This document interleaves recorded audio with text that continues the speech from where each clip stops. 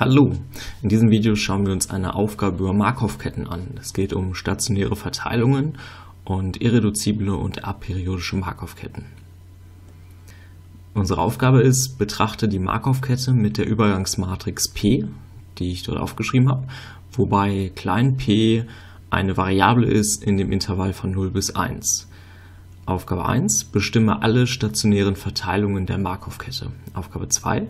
Für welche p ist die Markov-Kette irreduzibel? Und drittens, für welche p ist sie aperiodisch? Wir haben es hier also mit einer Markov-Kette mit drei Zuständen zu tun und diese Übergangsmatrix P beschreibt die Wahrscheinlichkeiten, mit denen wir von einem Zustand in den anderen wechseln.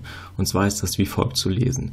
Ähm, hier die Zahlen sind immer die aktuellen Zustände und die Spalten repräsentieren dann den nächsten Zustand. Das heißt 1 minus p beschreibt die Wahrscheinlichkeit, dass wir im Zustand 1 sind und rüber wechseln zum Zustand 1, also im Zustand 1 bleiben. Und p halbe ist dann die Wahrscheinlichkeit, wir sind im Zustand 1 und wechseln in den Zustand 2. Ich habe das mal visualisiert. So sieht das hier aus. Wir haben die Zustände 1, 2 und 3 und die Wahrscheinlichkeiten habe ich hier an die Pfeile geschrieben. Wie gesagt, die Wahrscheinlichkeit, dass wir im Zustand 1 bleiben, ist 1 minus p. Wir wechseln jeweils mit Wahrscheinlichkeit p halbe zu den Zuständen 2 und 3. Und falls wir im Zustand 2 sind, dann gibt es nur eine Möglichkeit. Mit Wahrscheinlichkeit 1 wechseln wir zurück zum Zustand 1. Das ist hier die 1 an dieser Stelle. Und analog die 1 hier unten beschreibt die Wahrscheinlichkeit vom Zustand 3 zurück in den Zustand 1 zu wechseln.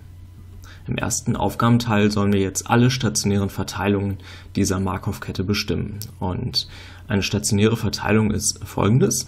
Das ist so eine Verteilung Pi, sodass Pi mal die Übergangsmatrix wieder der, äh, die Verteilung Pi ergibt.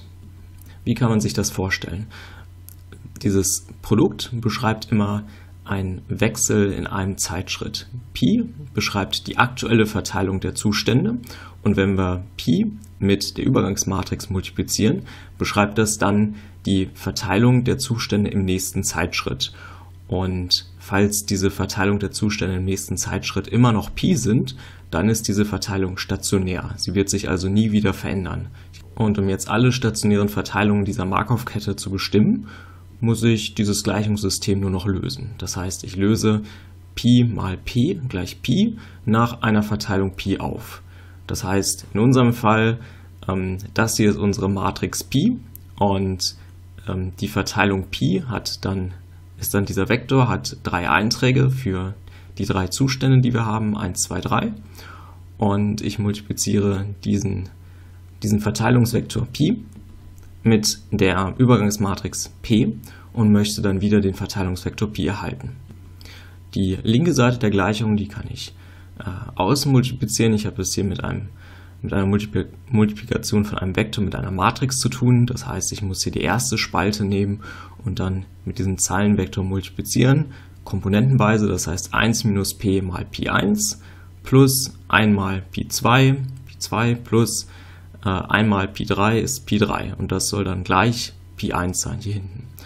Und das dann für die nächsten beiden Spalten genauso. Also Pi halbe mal Pi1 ergibt Pi2 und Pi halbe mal Pi3, äh, sorry, Pi halbe mal Pi1 ergibt dann äh, Pi3. Das sind also drei Gleichungen, die die stationäre Verteilung erfüllen muss. Und es gibt noch eine zusätzliche Bedingung, eine vierte Gleichung. Wir müssen haben, dass die Summe dieser Pis 1 ergibt ähm, ein, ein solcher Vektor, eine solche Verteilung muss sich immer zu 1 aufsummieren.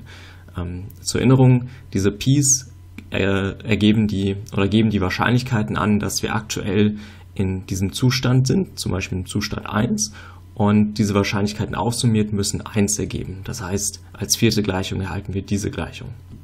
Ich erhalte also hier dieses Gleichungssystem mit diesen vier Gleichungen und das kann ich lösen. Und ja, zwar wie folgt zum Beispiel, ich starte hier mit der Gleichung 1, dort multipliziere ich diesen ersten Faktor aus, das heißt Pi1 minus P mal Pi1 plus Pi2 plus Pi3 gleich Pi1 und P mal Pi1 hole ich auf die rechte Seite, das heißt Pi1 plus Pi2 plus Pi3 ist gleich Pi1 plus P mal Pi1.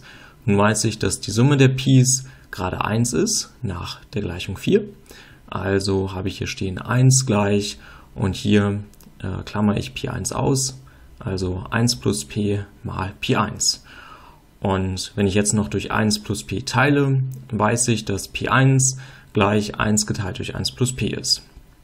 Und mit den Gleichungen 2 und 3 finde ich dann heraus, wie groß Pi2 und Pi3 sein müssen, nämlich jeweils äh, P geteilt durch 2 plus 2 mal P. Damit habe ich jetzt also alle stationären Verteilungen gefunden. Die müssen also wie folgt aussehen. Die erste Komponente muss 1 geteilt durch 1 plus p sein und die zweite und die dritte jeweils p geteilt durch 2 plus 2p. Wobei p dann jede beliebige Zahl in dem Intervall 0 bis 1 sein darf. Und das sind jetzt alle stationären Verteilungen der Markov-Kette. Gut, damit hätten wir die erste Aufgabe erledigt. Kommen wir zu den verbliebenen beiden. Und dazu erst einmal die Definition von irreduzibel und aperiodisch. Eine Markov-Kette mit der Übergangsmatrix P heißt irreduzibel, zunächst einmal intuitiv, wenn es möglich ist, von jedem Zustand in jeden anderen Zustand zu wechseln. Und die mathematische Definition ist, ähm, falls es für alle Zustände i und j eine natürliche Zahl gibt, sodass es in n Schritten äh, möglich ist, vom Zustand i zum Zustand j zu wechseln. P hoch n, die Matrix, gibt ja die äh, Übergangswahrscheinlichkeiten in n Schritten an. Und falls es für alle ähm, Zus äh, Zustandspaare i und j eine Schrittlänge n gibt, sodass die Wahrscheinlichkeit in n Schritten von i nach j zu wechseln positiv ist. Und wenn das für alle Zustände gilt, dann ist eine Markov-Kette irreduzibel. Ja, also es ist möglich, von jedem Zustand in jeden anderen Zustand zu wechseln. Und eine Markov-Kette mit der Übergangsmatrix P heißt aperiodisch, ähm, falls es keine Perioden gibt sozusagen. Also wir starten in einem Zustand und wir wechseln in andere Zustände und gucken an, in wie vielen Schritten wir zu diesem Zustand zurückkommen. Und falls es jetzt so ist, dass wir immer nur in zwei Schritten wieder zurückkommen können oder in vier Schritten oder in sechs Schritten, ähm, dann haben wir es hier mit einer Periode zu tun. Wenn das ähm, nicht so ist, dass wir keine Periode haben, also wenn wir zum Beispiel in einem Schritt zurückkommen können, aber auch in zwei oder in drei, ähm, dann heißt die Übergangsmatrix, äh, dann heißt die Markov-Kette aperiodisch. Und das ist hier die mathematische Definition dafür. Also für alle Zustände i soll gelten, dass der größte gemeinsame Teiler von äh, der Menge der Schrittanzahlen, sodass wir in n Schritten ähm, starten können in i und zurückkehren in i, ähm, dass die Wahrscheinlichkeit größer als 0 ist. Der größte gemeinsame Teiler dieser Menge soll gleich 1 sein. Und das ist einfach die mathematische Beschreibung für diese Aperiodizität. Lasst uns das hier einfach an unserem Beispiel äh, konkret anschauen. Also wir wollen zuerst herausfinden, für welche P diese Markov-Kette mit diesem Übergangsgraphen irreduzibel ist. Und falls P nun nicht gerade 0 ist, dann ist es hier immer möglich, von 1 zu 2 zu wechseln. P darf also nicht 0 sein. Wenn wir in 2 sind, kommen wir immer rüber zu 1. Und wenn wir in, 1 wieder sind, ist es hier der gleiche Fall. Mit der Wahrscheinlichkeit p halbe wechseln wir zu 3 rüber. Das heißt, p darf nur nicht gleich 0 sein. Und dann ist es immer möglich, von äh, 1, 2, über, 1, 2 oder 3 in jeden anderen Zustand zu wechseln. Das heißt also, für alle p in diesem links offenen Intervall von 0 bis 1 ist die Markov-Kette irreduzibel. p darf also nur nicht gleich 0 sein. Und aperiodisch, wann ist die Markov-Kette aperiodisch? Stell dir mal folgendes vor, ähm, p ist jetzt gleich 1. Dann würde hier stehen 1 minus 1 gleich 0 für die Wahrscheinlichkeit, dass wir im Zustand 1 bleiben. Mit der Wahrscheinlichkeit 1,5 wechseln wir rüber zu 2 und mit der Wahrscheinlichkeit 1,5 rüber zu 3. Und dann passiert folgendes, wenn wir in 1 starten, wechseln wir nach links oder nach rechts, zum Beispiel nach links und wechseln wieder zurück. Und dann zum Beispiel wieder nach rechts und wieder zurück.